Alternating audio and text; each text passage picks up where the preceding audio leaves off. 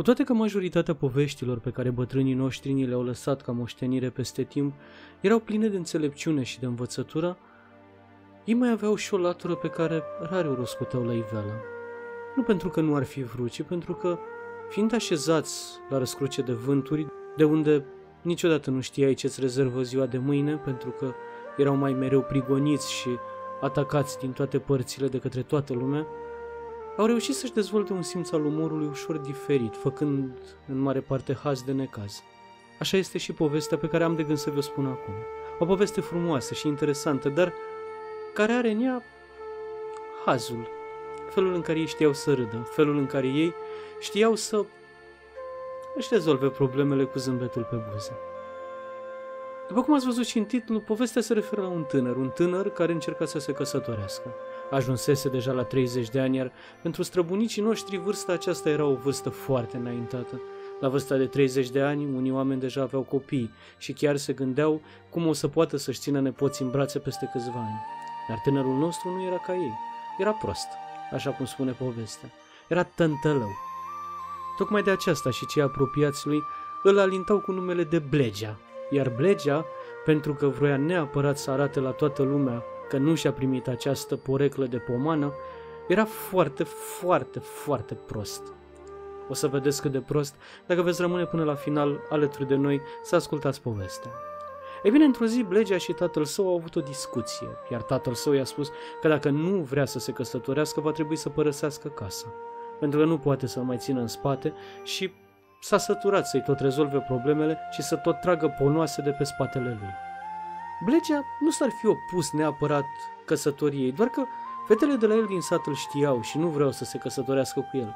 Ba mai mult, cele care erau de vârsta lui erau căsătorite deja și aveau și copii, iar el rămăsese singur și mai stătea din când în când seara pe la poartă jucându-se cu copiii. Ei bine, într-o zi, Blegea împreună cu tatăl său pornesc în aventura vieților. Mergeau într-un sat vecin unde Blegea urma să cunoască o fată și să se căsătorească cu ea. Aveau aspirații mari pentru că tatăl său fiind conștient că nu se va putea descurca cu toată inteligența pe care o deține, ar fi vrut ca măcar fata pe care o ia de soție să-l iubească atât de mult încât să fie capabilă să-i coordoneze și lui viața. Zi și făcut. Prima dată s-au dus într-un sat vecin din apropiere. Întâmplător, oamenii nu-l cunoșteau atât de bine pe Blege acolo, așa că au fost primiți cu drag de către un comerciant de cereale. Omul i-a așezat la masă, iar ei s-au purtat frumos, mai ales că tatălui Blegea îi spusese acestuia că orice ar fi, el să se poarte ca un intelectual, să nu scoată prea multe cuvinte, pentru că așa oamenii își vor da seama cât e de prost. Așa că, ținând cont că îl îmbrăcase foarte bine și hainele erau trase la patru ace, viitorii lui socri și-ar fi făcut o impresie bună despre el. Atât era foarte important să nu spună nimic. Pentru că lui Blegea intrase în cap ideea că este un intelectual și un om cu carte, acesta se purta ca atare și a respectat întru totul tot ceea ce îi spusese tatăl său. Așa că, în momentul în care la poarta comerciantului s-au afișat doi bărbați zdraveni care i-au spus acestuia că au o afacere pentru el, Blegea s-a așezat și el la rândul lui, rezemat de unul dintre stâlpii casei și privea cu atenție ceea ce se întâmplă în curte. Tatăl fetei a intrat cu grabă în casă și le-a spus lui Blegea și tatălui său că va trebui să încarce pe grabă un car cu cereale și să-l ducă undeva la o răscruce, mai aproape de sat, de unde îl va încărca într-un convoi, pentru că oamenii care conduceau convoiul nu au putut să intre cu carele lor mari pe ulițele înguste ale satului, iar Blegea și tatăl său ar fi fost frumos să-i ajute.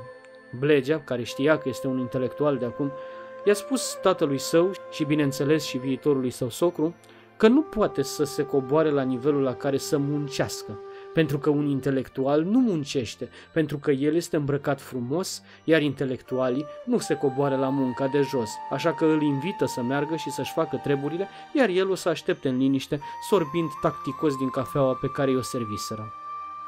Omul a fost atât de dezamăgit de ceea ce i-a spus Blegea, încât le-a spus destul de clar și fără niciun fel de menajament că tânăra lui fică nu este de căsătorit și că oricum nu vede niciun fel de viitor pentru ea și pentru Blegea.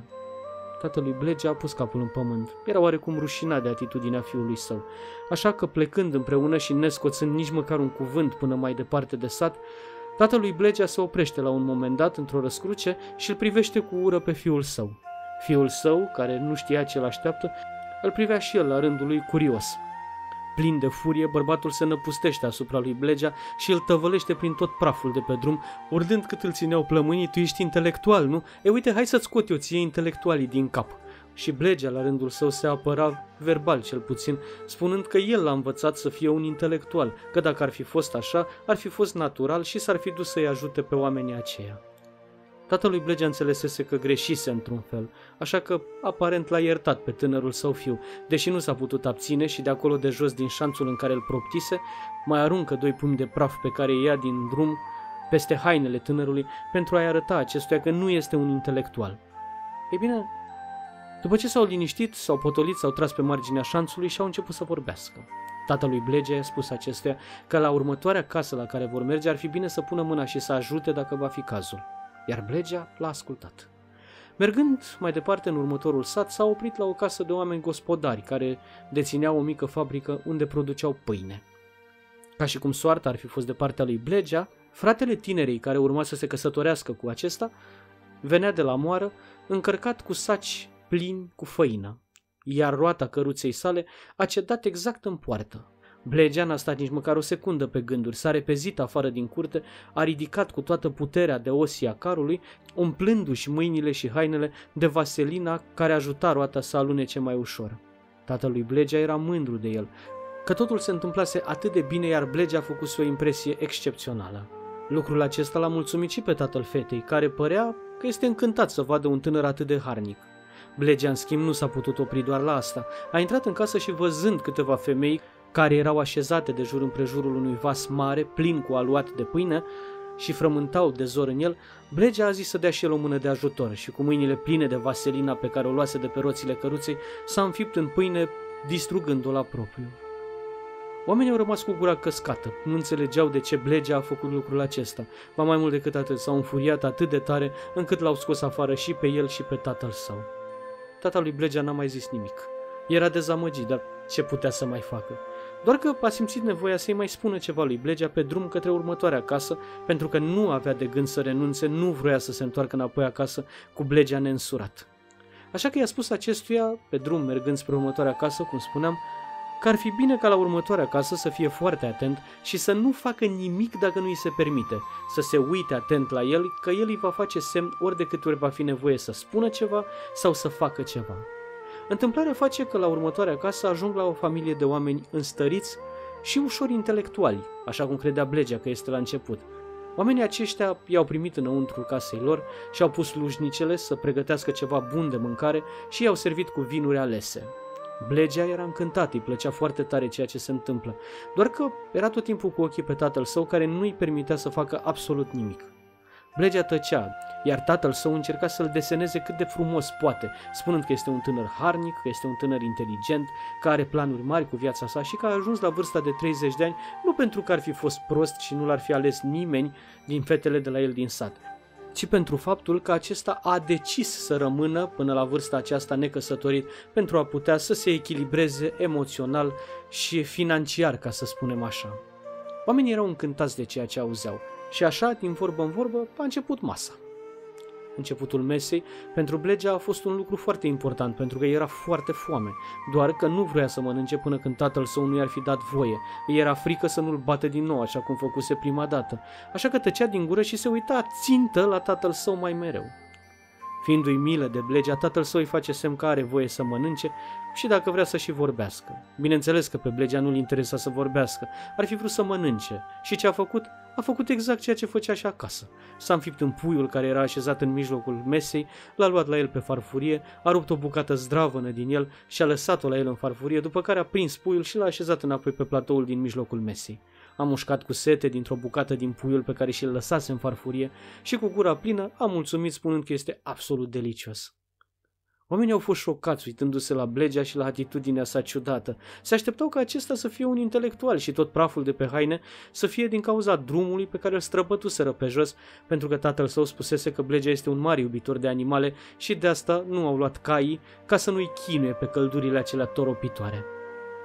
Bineînțeles că tatălui Blegea a lăsat capul în pământ și a cerut scuze de la oameni și au plecat mai departe.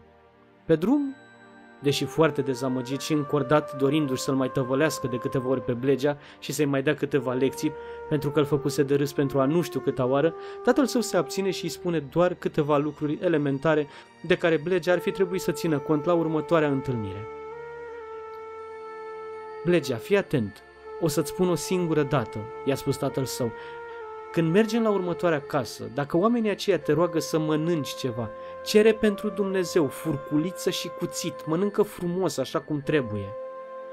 Blegea, deși foarte obosit, era foarte atent la tot ceea ce îi spunea tatăl său și băgase bine la cap că la următoarea masă trebuie să ceară cuțit și furculiță. Ajungi la o casă de gospodari, aceștia terminaseră masa, dar pentru că erau foarte primitori, i-au rugat pe Blegea și pe tatăl său să servească niște nuci și niște alune pentru că avea un nuc și un alun în curtea casei. Blegea, pentru că tatăl său îi spusese ce să facă, a simțit nevoia să-i ceară un cuțit și o furculiță. Tatăl său și-a pus mâinile în cap. Deși nu vrea să se vadă cât de dezamăgit este de fiul său, a încercat să lase lucrurile să decurgă normal, deși se strâmba pe sub mustăți la fiul său, care aparent nici măcar nu-l lua în seamă. El era sigur că trebuie să ceară un cuțit și o furculiță. Oamenii au dat, nu știau ce are de gând să facă cu ele, iar Blegea, tacticos, a încercat să mănânce cu ele nucile pe care le-am prăștiat prin toată camera. Oamenii au râs, după care i-au scos afară, așa cum făceau de fiecare dată cei care luau contact cu ei, spunându-le cât este de prost Blegea și că niciodată nu vor putea să-și lase fica pe mâna unui astfel de om. Oboseala i ajunsese destul de tare pe aceștia, așa că spre seară, ajungând la poarta unui gospodar care avea o fată tânără și știau că este de măritat dintr-un sat destul de îndepărtat, tatălui Blegea îi spune pentru ultima dată, măi deșteptule, nu mai pot să merg cu tine mai departe dacă nici fata asta nu o să te ia de soț, să știi că eu am de gând să renunț. O să te iau acasă și o să-mi bătrânești lângă mine, iar când eu voi pleca, probabil că o să ne batem pe drum către rai, că tu nu ești capabil să te descurci de unul singur. Blegea nu s-a simțit jignit, era mult prea obosit ca să mai înțeleagă ceva și oricum, și dacă n-ar fi fost obosit, probabil tot asta ar fi înțeles. Așa că l-a întrebat pe tatăl său ce ar trebui să facă. Păi ce ar trebui să faci? Dacă ți se mai oferă nuci sau alune, pune pentru Dumnezeu mâna și spargele pentru că ești dita mai omul și dă-i fetei să mănânce din miezul de nucă. Ajută-o să mănânce dacă e nevoie, pentru a fi tandru și drăguț cu ea, că asta așteaptă femeile. Blegea a băgat la cap, era sigur că cu mișcarea asta va da lovitura. Bineînțeles că soarta nu a fost deloc de partea lui Blegea, pentru că acești gospodari doar ce terminaseră munca pe câmp și erau tare obosiți, așa că l-au rugat pe Blegea și pe tatăl său să servească cu ei lapte acru și mămăligă. Asta era tot ce aveau ei la îndemână în acea zi pentru cină. Bineînțeles că aceștia, pentru că vroiau să se apropie cât mai mult de familia aceasta, au acceptat cu drag și s-au așezat la masă. Blegea, ducându-și aminte de ceea ce spusese tatăl său, a înfipt mâna cu putere în mămăligă și apoi în laptele acru, după care i-a mânjit fața fetei în speranța că o să ajungă ceva și în gura acesteia. Fata s-a ridicat nervoasă și l-a întrebat pe acesta dacă este sănătos la cap, după care l-a rugat pe tatăl său să-i aducă pisica. Tatăl său S-a ridicat și el la rândul lui și i-a spus că mai bine o să-i dea un ștergar cu care să se șteargă, dar fata și mai nervoasă îi spune tatălui său pe un ton foarte superior. Am spus să-mi aduci pisica, nu ștergare. O să las pisica să mă curețe pentru că așa nu vom irosi laptele pentru că eu știu cam cât de mult mă chinui să merg cu caprele, că voi niciodată nu vreți să mă luați cu voi să strâng fân, să cosesc sau să fac lucruri din astea importante. Mă trimiteți cu animalele, așa că nu vreau să pierd nici măcar o picătură din laptele ăsta. Și eu chiar iubesc pisica, spre deosebire de voi care o bateți. Bărbatul a lăsat capul în pământ, n-a mai zis nimic și a ieșit pe prispa casei aprinzându-și o țigară. Tata lui Blegea a ieșit și el, nu știm dacă simțise oportunitatea sau pur și simplu și el avea mare nevoie să-și aprindă o țigară. Stând o vreme unul lângă altul și ne spunând nimic, tatălui Blegea încearcă să spargă gheața și spune Auzi, nu ai vrea să împreunăm? Tatăl fetei se uită ciudat la el și spune, ușor dezamăgit, Tu ești sigur că vrei să facem asta? Uită-te la ei. Tata lui Blegea se uită către ei, după care se întoarce către tatăl fetei și îi spune acestuia, până la urmă, ce o să se întâmple? Dacă până la vârsta asta n-au reușit să-și scoată ochii de unii singuri, mă gândesc că nu reuși nici împreună. Și până la urmă, om mai trăi noi până când vor face copii și de acolo înainte va fi grija lor. Se pare că cei doi tineri au rămas împreună și au trăit fericiți până la adânci bătrâneți. Ei bine, sper că v-a plăcut. Aceste povești amuzante sunt nenumărate în folclorul românesc și, în general, ele taxează prostia și lipsa educației. Iar dacă vreți să continuăm și să mai facem și alte povești asemănătoare, nu trebuie decât să faceți un singur lucru, să vă arătați aprecierea față de acest material.